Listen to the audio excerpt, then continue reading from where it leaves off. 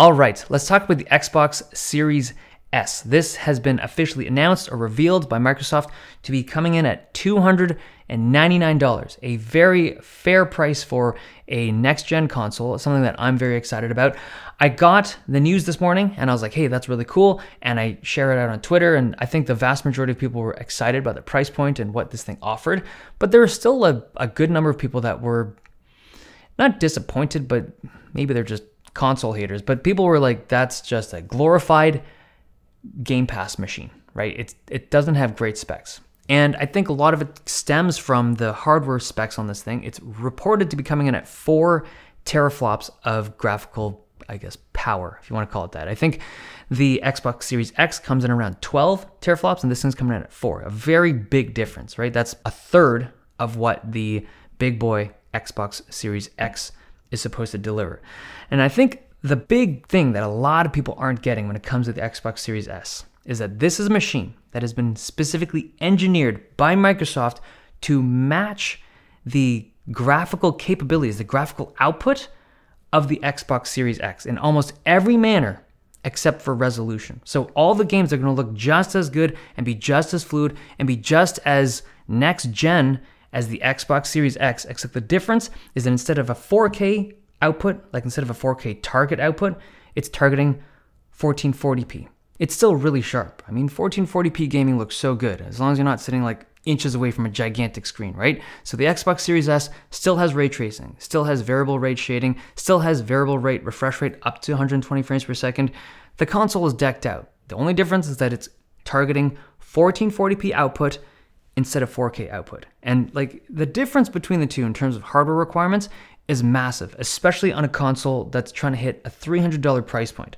Now, if you look at the reported specs, the CPU is supposed to be the same between the two systems, between the X and that cheaper S. The GPU is weaker, but we're also supposed to be seeing less video memory on the Series S and lower video memory bandwidth, so like slower VRAM on the Series S. Now, here's the thing because 1440p stuff is less demanding, than 4K stuff. You can get away with less video memory and lower bandwidth for that memory. And same with storage, right? The Xbox Series S is supposed to come with 512 gigs instead of the terabyte that the Xbox Series X is supposed to offer. So half the storage, but because again, 1440p gaming instead of 4K, everything is just a little bit smaller. Your downloads should in theory be smaller. Your textures are smaller, your assets, everything about these downloads should be smaller for the Xbox Series S. So the point I'm trying to make is that there's no real deficiencies with the hardware. The actual gaming experience between the S and the X will be very similar, maybe even identical aside from resolution. Now, I've always thought that console output resolution was a weird topic. Like for me, it's never been about 4K gaming. I've never truly understood why Microsoft and Sony have been so tunnel visioned on resolution. Like back in 2017, they were already going for 4K gaming, right? It, as if it was this experience that would somehow make the console game that much better. Like higher resolution would change everything. The thing is, it doesn't, right? Unless you're playing on gigantic screens, the gaming experience between 1080p and 1440p and 4K is not that different. What does make a difference is frame rate, right? At least to me, like the when you jump from 60 hertz or 60 frames per second to 120 frames per second, it is massive. The whole game just feels so much more fluid and so much more immersive when it's fluid. But Microsoft in the past has gone for 4K as being like the, the next generation. But it's so good. It is so good and refreshing to see them focus on this cheaper variant that offers what I think is a way more realistic and practical experience for the user, right? 1440p gaming, 120 frames per second. That's like that's the good stuff. To me, that's what gaming should be. Not 4K or 8K, none of that stuff really matters right now. And it's not just Microsoft and Sony. Even PC gaming has started to push for 4K and 8K gaming as being like the next generation stuff. We'll get into it with like, you know, future videos on the RTX cards.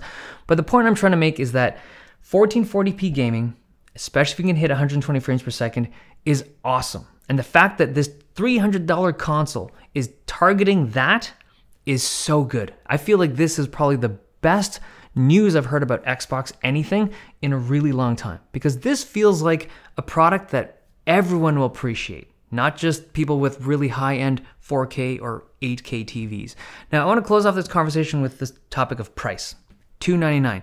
That feels so right. It feels it feels like a it, it brings warmth to my heart considering like everything that's going on in the world right now, the climate that we're in, to have a console, like a next generation console with payment plans available for it. Just feels so good and so warm to see coming into the marketplace. So my, my take on it is like obviously I'm excited for this thing. I think that a lot of people are going to pick it up. I think it's to be a great device, but the whole purpose of this video is like for the people that that doubt you know they want to press x for doubt the people that doubt the ability of this thing to deliver a good experience I disagree. I think the Xbox Series S is going to be something that delivers something really compelling for a console gamer.